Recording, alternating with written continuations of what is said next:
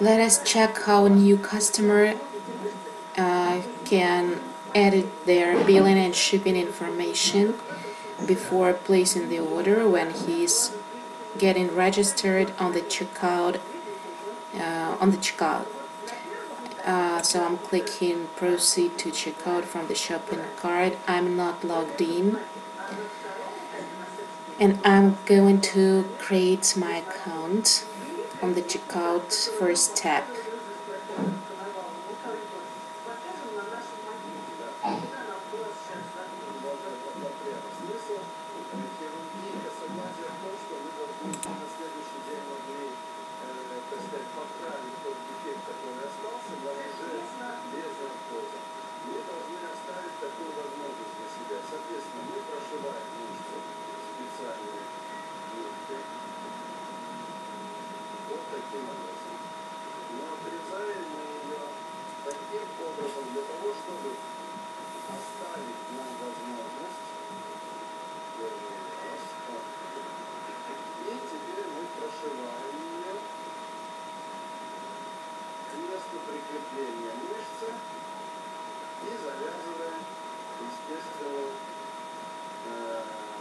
эти нитки на бантик.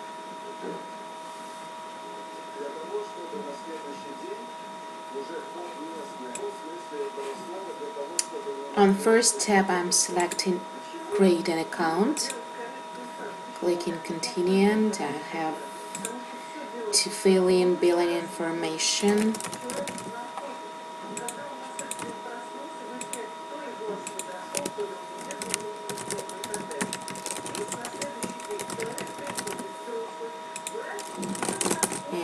Address country select the state.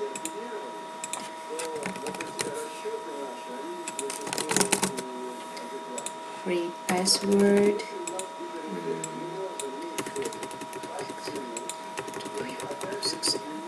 Mm. let's assume I'm selecting ship to this address and click continue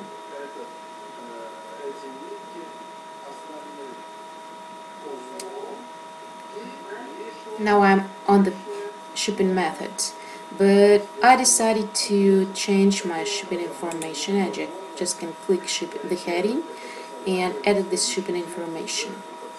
Same as for billing information. I can edit any um, edit this information anytime before placing the order.